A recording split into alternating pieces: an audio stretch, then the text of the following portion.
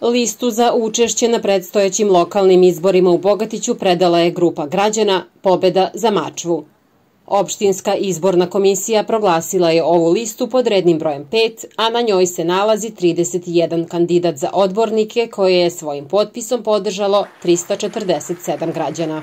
Ono što mi hoćemo da promenimo nije samo da mi dođemo na mesta nekih drugih, nećemo da Kurta sjaše da dođe Murta, mi hoćemo da menjamo sistem. I to je nešto što je neophodno kako bi naša opština krenula napred. Znači, stop stranačkom zapošljavanju, stop e, da građani budu servis e, političara i to jedne male vrhuške. Mi hoćemo da okrenemo stvari, da mi budemo servis građana i da zajedno sa građanima radimo na, na prosperitetu. Ono što ćemo kroz kampanju raditi, pričat ćemo sa našim sugrađanima da vidimo gde su najveći problemi, šta su prioriteti. Mi hoćemo da radimo ono što je najbitnije za našu opštinu, da li je to vodovod, kanalizacija, a ne ono što nam neko naredi sa vrha.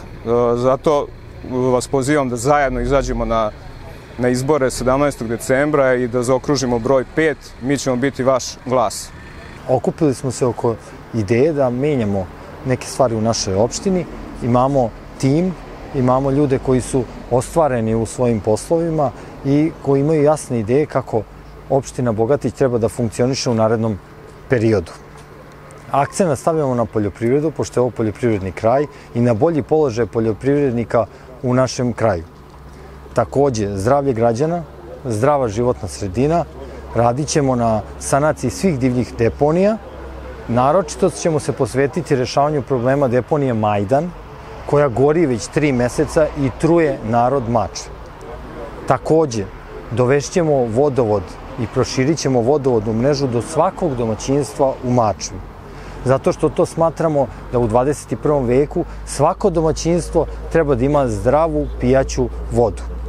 I stranačko zapošljavanje i napredovanje u struci smatramo za jednu negativnu praksu i hoćemo da se ta negativna praksa prekine. Da svako u opštini Bogatić ima pravo na rad i na stručno usavršavanje. Mačva je jedna od najplodnijih ravnica u Srbiji sa vrednim domaćinima. Ti vredni domaćini jako teško izdržavaju troškove života. Zato majke obično ostave svoju decu i odlaze da rade u fabrike za sigurnu platu. A roditelji dece školskog uzrasta se smatraju bankomatima njihovi troškovi su sve veći i ništa im se ne olakšava. Imate olovku i zaokružite, imate izbora. Tako da se borite za bolju budućnost vas i vaše dece.